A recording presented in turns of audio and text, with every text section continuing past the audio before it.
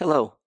Today I'll be going through a code pattern that we call Infuse AI into your application.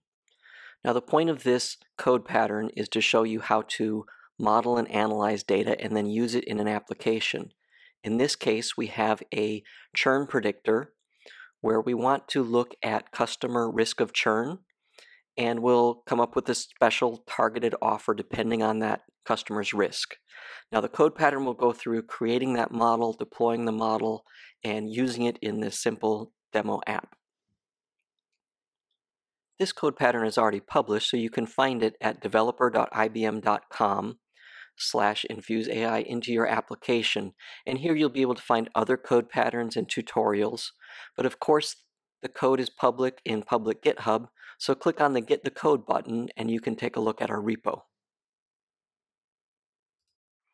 You'll see we're using the usual common open source tools, Jupyter Notebooks and Spark ML Library. This time I'm running them all under IBM Cloud Private for Data. So you'll get to see a little bit of project management and how we run and ultimately deploy the model to be used via a web service using IBM Cloud Private for Data. As always, we've included detailed steps. The idea is that you clone the repo and run this yourself but we've included plenty of examples if you want to just read through it and see what we've done.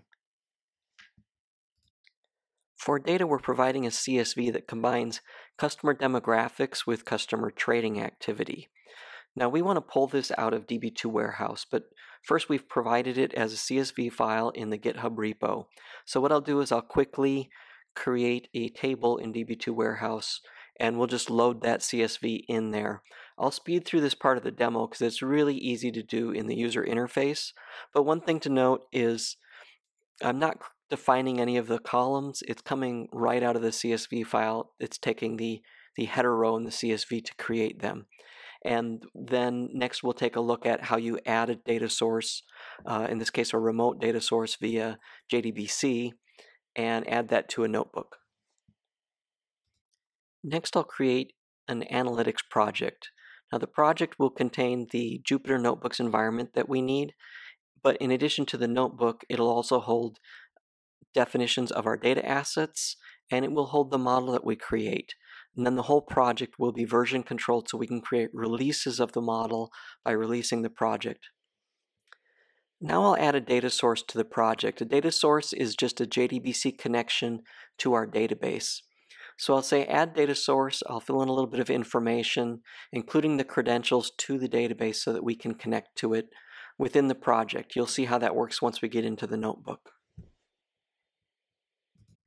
I forgot to scroll down and create the data set, so I'll go back and edit this and I can add the data set. That's just the table, so I reference, I give it a name and reference the schema and the table name. Now I, will save that. So the data source is a pointer to the database, the data set is a pointer to the table, and that's what I'll be loading into my notebook.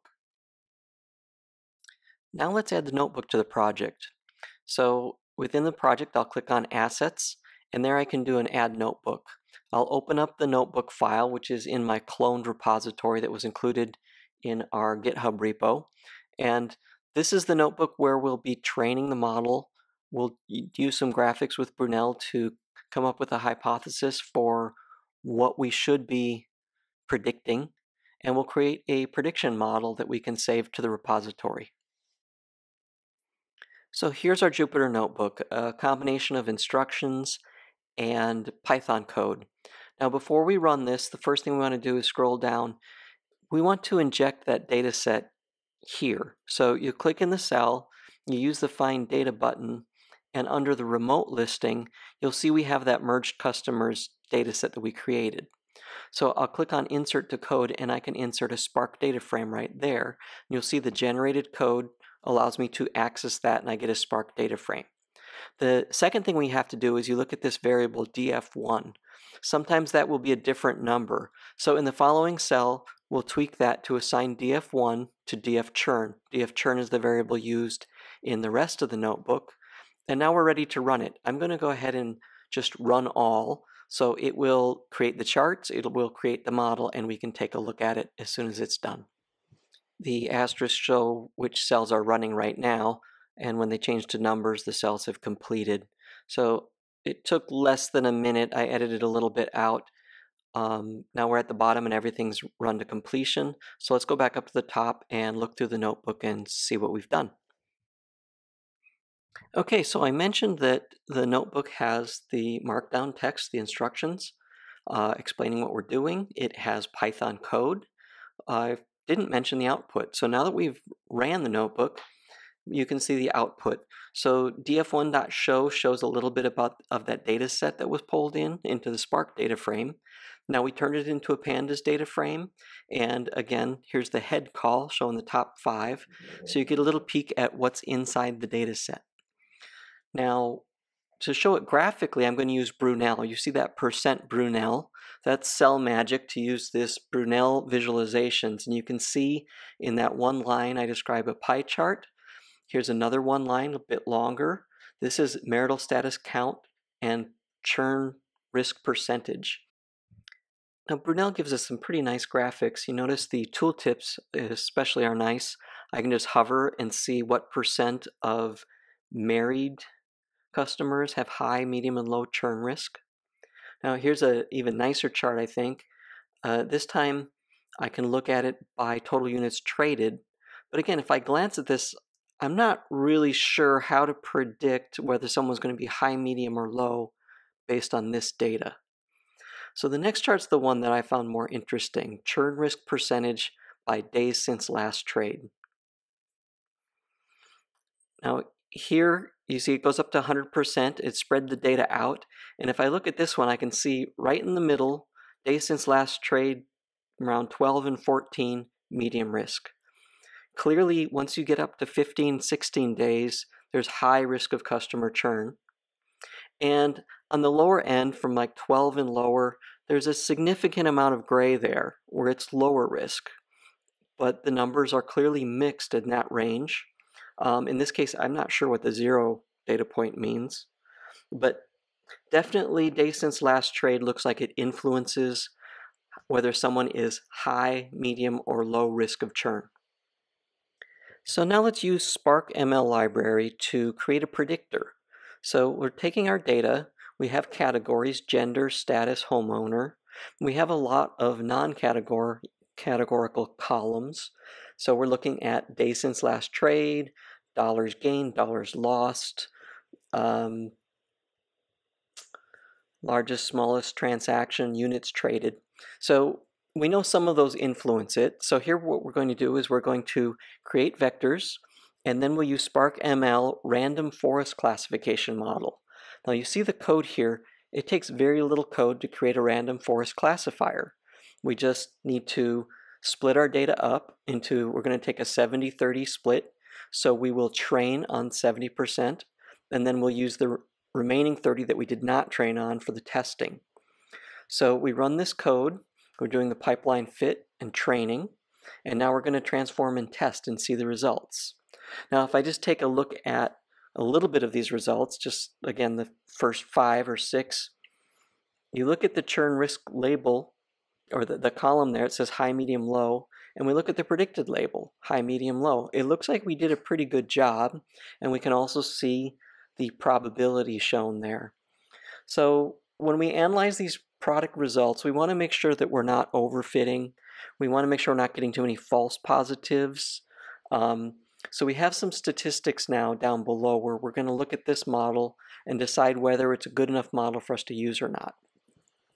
And the measure, measure you see here is where we took all that information and created a single number to look at called model precision. And you see that 93%. So again, it depends on exactly what your threshold for good enough is, but you know, at first glance, 93% looks like a pretty good model. Now we can evaluate this again. We'll get an F measure of 93, and we can look at it by class. So we're looking at our three classes, high, medium, and low. Again, 90, 90, 77. Pretty good prediction. The other thing that's interesting here is we can look at the feature importance. Now this chart shows See, days since last trade looked interesting to us, but that's the third most important. The most important features are realized gains or realized losses. So if you want to keep somebody, give them money. Make sure they're making money. If you want to lose them, let them lose money. They'll walk. So that's not too surprising, but it's nice to see it graphically and see how it turned out. We created another model here using naive Bayes to see how it compares, and it 67%, not nearly as good as the first one. So we're going to take the random forest model and save that to a repository. So here's our uh, save command that we, we're using here with IBM Cloud Private for Data. So now we've saved it. We're also going to save some CSVs for uh, batch scoring and evaluation of the model so we can continue to do that afterwards. And that's it for this notebooks work. Next we want to take a look at the saved model and how we can use it. Now let's try some online scoring to see how the model works. So we go back here to our project and now you'll see we have our notebook but we also have a model and in addition to our first data set, those CSV files that we saved for evaluation and training are, um, are also there as assets. But let's go and try scoring with the model that we saved. So I'll just use this action menu and click on real-time score. You get this little UI and you see the input. Now we can, we have some values there, but you can change the gender, status, children, gains, losses, um, and click submit and you'll see the result, which is the prediction, is it high, medium, or low risk of churn. So this default one was pretty high risk of churn. You can see the pie chart or the bar chart. Now if I want to, I can try some different values. So if I just go edit this, change the losses to gains, and click submit, just a dollar gained, it's still high risk. Well, that's because it was 19 days since last trade. So let's go back to 12. That was sort of our middle. Now this customer is most likely medium risk of churn. If I play around a little bit, I go on the lower end of 5, it's still medium. Let's see. If I say two days since last trade and $1,000 gained, low risk of churn. So we saw that a little bit in the chart, and then we saw later the most important features and how those features, mostly did you gain money or lose money, influence whether you're high or low risk of churn. But definitely the days since last trade were also is also an influencer. So you can try it out in this UI. But now what we want to do is we want to take this, we want to release this so we can actually use this model in one of our applications. Now I need to save and tag this release. So first what I'll do is I will commit and push all these changes. IBM Cloud Private for Data is integrated with uh, a Git repository. So you see all the changes I have here, including the model. Um, so I will commit that, and then I will push it to the repository. So now I'll go into Projects, Analyze, Model Management, and here I can create a project release. Uh, the one you see there, I was something I was doing earlier. So I'm going to create a new one with add project release. I'll name it, give it a route. I will specify the project that we're working on, which is my demo project, and the tag, which is the code that we just did a commit and push and tagged. So this is my project release. Using this project release, we're going to create a web service. So now that we've released the project, we'll add a web service. Once the web service is out there, we'll get an API tab where we can see the curl command that could be used to access this web service. In addition, on the README, I've described how you can use this in a with a curl command. Now in our project, you can see we have a web service, but notice it's disabled. And if we look in deployments, we'll also see a deployment there, but it's also disabled. So in order to get this running, we have to um, go to the project release and launch that release. Now once we have an enabled deployment, we can go back and we can use that API tab. Again, we've got an endpoint there that we want. We have a token that we want to use, but also uh, in the UI here, you can test it. So now I can change some values, click submit, and see what the response is, and actually see the JSON that comes back from that REST endpoint. So here's our demo app. Now I ran the Python app on the command line.